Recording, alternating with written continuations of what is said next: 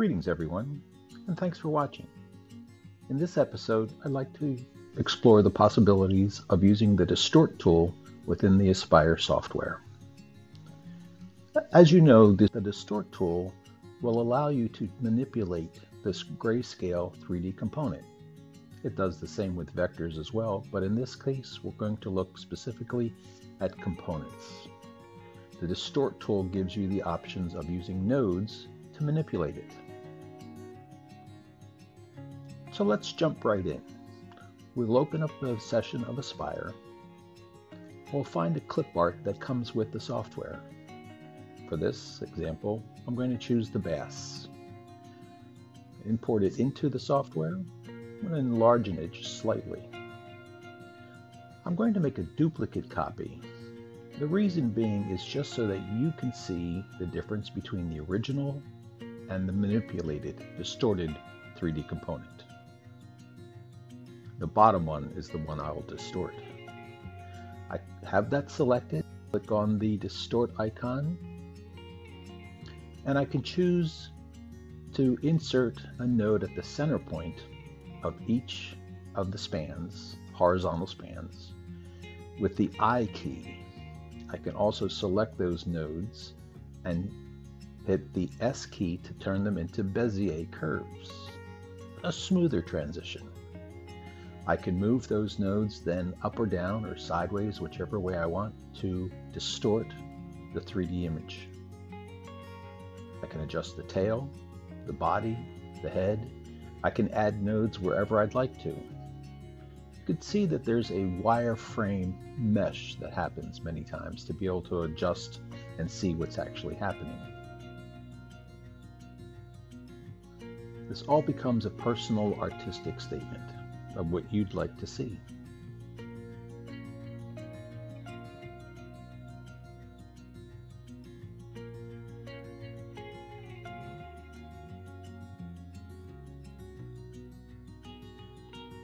Of course, baking it when you're finished is important. And you can see the difference between the two components.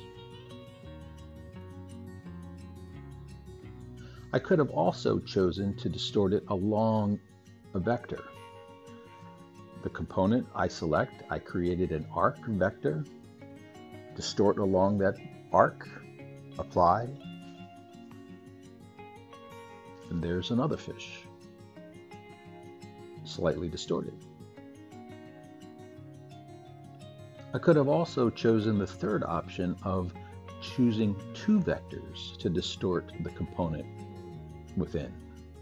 Selecting both vectors, holding the shift key down and selecting the component. I want to distort it between the two vectors and the fish now is changed accordingly.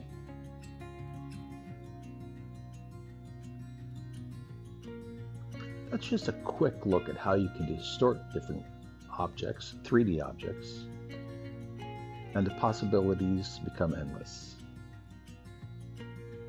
Of course, baking is always important. But let's look at something a little bit different. I'd like to create a banner, a ribbon if you would. Is it possible within the Distort tool? Here's how it's done. I create a closed vector of a rectangle. You choose the size. And of course, I create a flat component from that closed vector.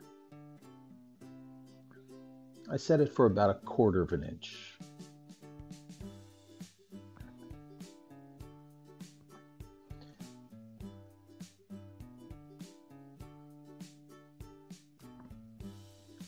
Part of the trick with this is it's important to know that you need to have one side thicker or tilted up than the other side.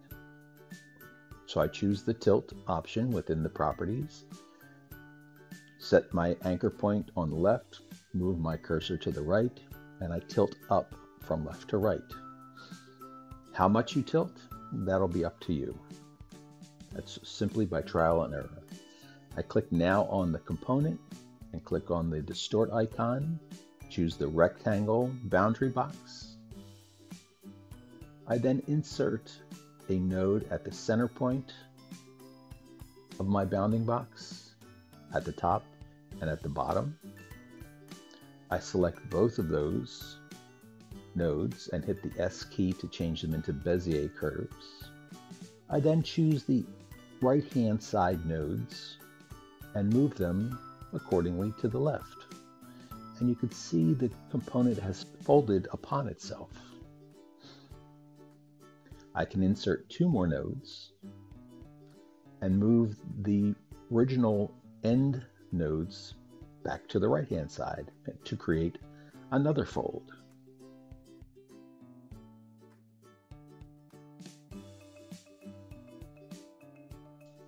I add two more nodes, top and bottom. Keep them as Bezier curves. It creates the nice rounded fold of the ribbon. Select my last right hand side nodes, fold them over again. You can continue this process for endless amount of time. You just have to keep in mind watching out what are the last two nodes on that right hand side. You grab those, fold it over again. If you're happy with it, bake it. I'm going to go a little further now to explain how the ribbon or banner was created. I delete the unnecessary vector that I started with. I'm going to want to have a little cutout on the edge of the banner, so I just create a new vector, a closed vector.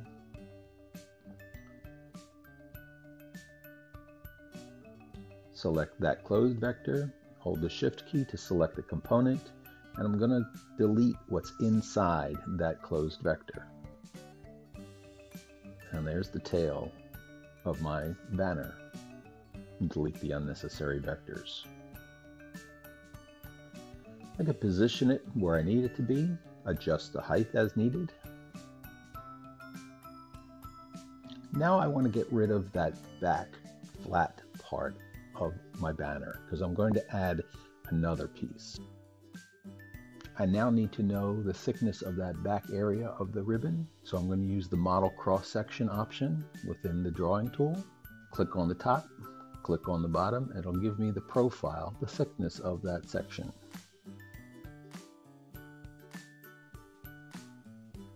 Now to delete part of the banner that I don't want, the darkest part. I click on the component. We're going to use the trace bitmap option. And remember, I want to get rid of the darkest part of it. So I have to adjust my scale so it fits exactly where I need to delete. Create, preview the vector, hit OK, close that out. Click on the vector, shift, hold the shift key down and click on the component. And let's delete what's in that closed vector. So all that's left is the folded part of the ribbon. I want to make a copy of it, so I'm going to mirror it to the left-hand side.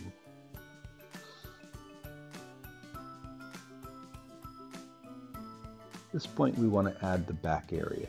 I'm going to create a nice arc vector on the top and one on the bottom. And we're going to be using the two rail sweep for that. So I drag my profile model cross section, want to eliminate the little feet that came with it. So I just have the pure shape, select the top vector and then the bottom vector. Click on the two rail sweep icon and I'm going to use those as the rails. Click on my profile, set the component property to merge and hit apply. And there's our ribbon. Not too complicated. The more you practice, the easier it becomes. It becomes endless, the possibilities.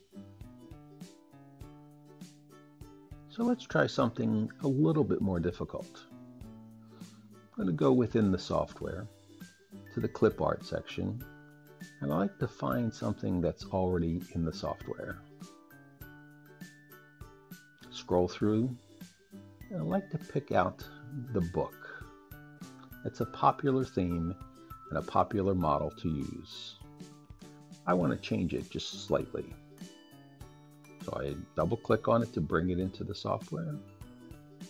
Make it a little larger so I can see what I'm working with. I'm going to make a duplicate of this simply because I want to use only the right hand page of the second book. Right click and duplicate, hide the first one. This is the second one I'm going to be working with. Now I need to delete what I don't want. Of course, you can adjust the contrast so you can see what you're drawing of the 3D component.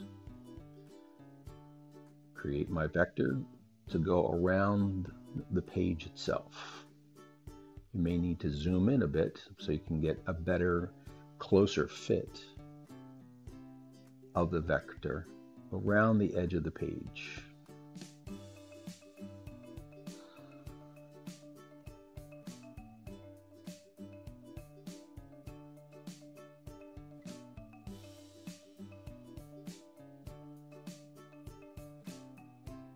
This takes some practice, but it all starts with vector drawing and node editing. The software is built around that. Once you get to the point where you are close to closing the area you want, you can simply hit the tab key and the vector will close automatically. Click on it, hit the N key to enter the node edit mode, and adjust the nodes as necessary.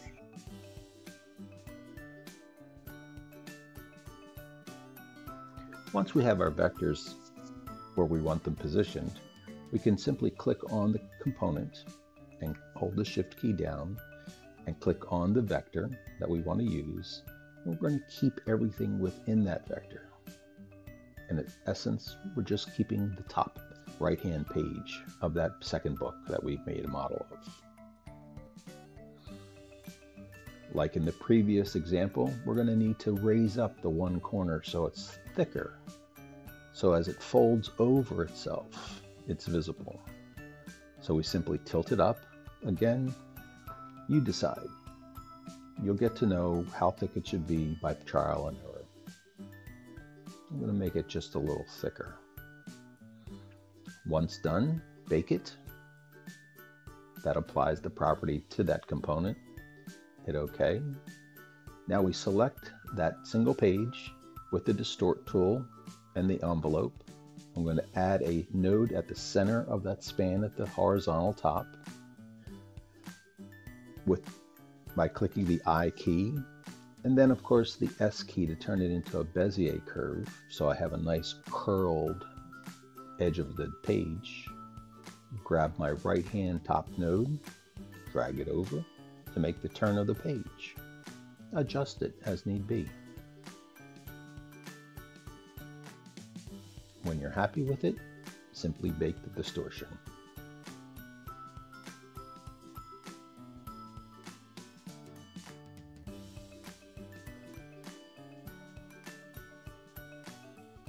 Show both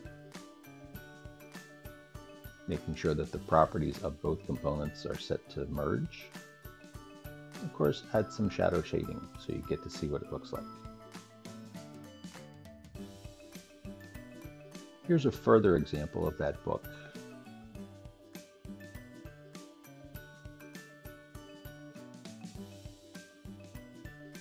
It's a slightly different take on the book than what we were originally started with. Now for an extreme example. We go into our clip art library again. At this time I chose the eagle, a very popular 3D model. Again, I'm going to make a duplicate of it just so that you, the viewer, can see the difference between the original eagle and the modified eagle.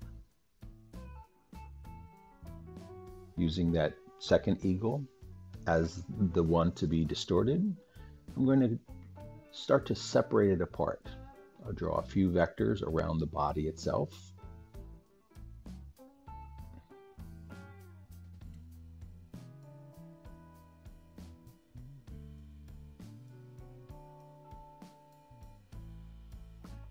You take your time drawing those vectors, making sure that you have the areas that you want to keep and the ones that you don't want to keep.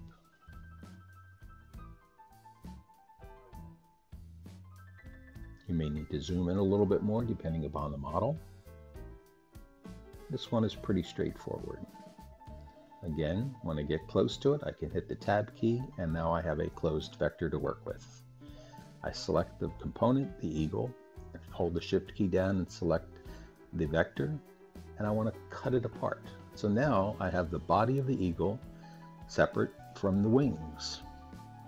But now I just want the left side wing, the left wing. I draw a rectangle, hold the shift key, select the wing components, and I'm going to keep what's inside that closed vector. In essence, I'm deleting the right wing and keeping the left wing. Now I can distort it. I select the left wing, use the envelope again. I insert a node at the center point by hitting the I key, another one to the left of the center, both top and bottom. Selecting those four nodes, I can hit the S key to turn them into Bezier curves. Selecting those four Bezier curve nodes, I can adjust the wing up or down, sideways, whatever you see would be the most appropriate. I can't say what should be done. I can show you the technique and leave the creative spirit up to you. Takes a little practice again, a little tweaking here or there eventually you get pretty good at it. And it's an easy way to take an existing model and simply modify it.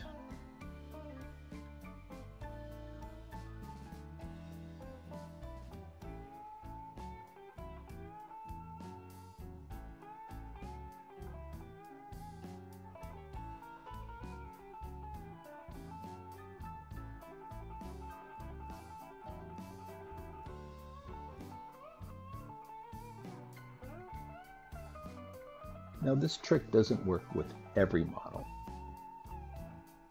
but it works with the vast majority of them. So try your hand at picking a model and manipulating it, distorting it. Of course, when you're done, you bake it. Select that wing, the left wing that you've modified, adjust it appropriately. I want them all to be set to merge so that they don't have any conflict of overlapping areas. And I'm going to now take the left wing and mirror it over to the right.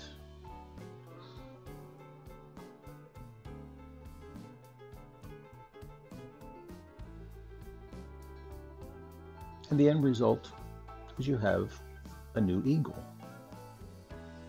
Significantly different from the original, and a lot easier to make than trying to do it from scratch.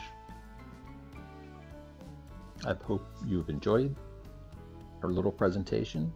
Stay tuned for more episodes and tips and tricks of the software. Thanks.